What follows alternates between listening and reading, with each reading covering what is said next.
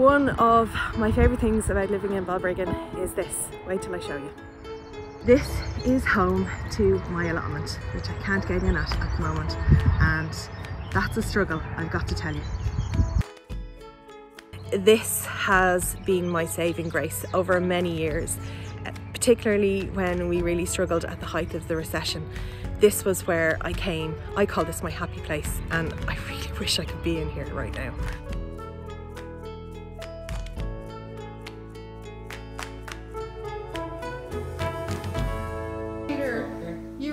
Guys that used to use the allotments I did, yes. and you're you missing them now?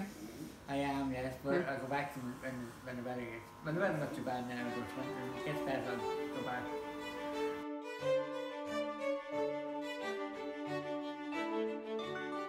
This is going to give them something to do while they're cocooning. It's going to give them a garden to really, really enjoy.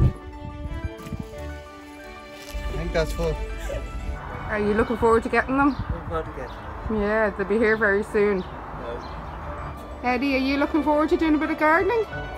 Yeah? Give us a wave, Eddie. That's great. Oh my god, thank you so much. That's a present for you. That's gorgeous. Thank you.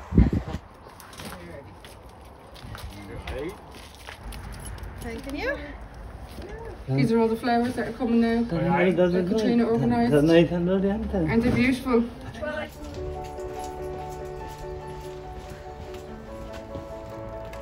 I love your tomatoes, guys. They're brilliant. That's everything.